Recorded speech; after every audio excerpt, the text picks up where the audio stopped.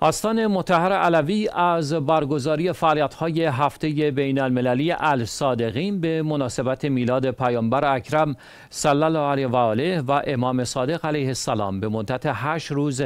در عراق خبر داد. در همین راستا حیدر رحیم رئیس حوزه رسانه‌ای آستان متحر علوی گفت جشنواره امسال علاوه بر فعالیت‌های عقیدتی، مذهبی جشنواره های شعر و نشست های علمی تخصصی خواهد بود.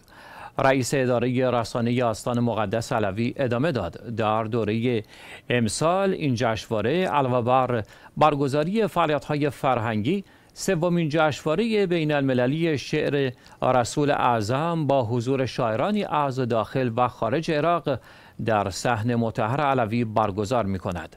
لازم به ذکر است آستان متحر علوی به مناسبت میلاد رسول اکرم محمد مصطفی صلی الله علیه و آله و امام صادق علیه السلام صحن و رواقهای این آستان را با پلاکاردها و پارچه نوشته های سبز رنگ آزیم بندی کرده است.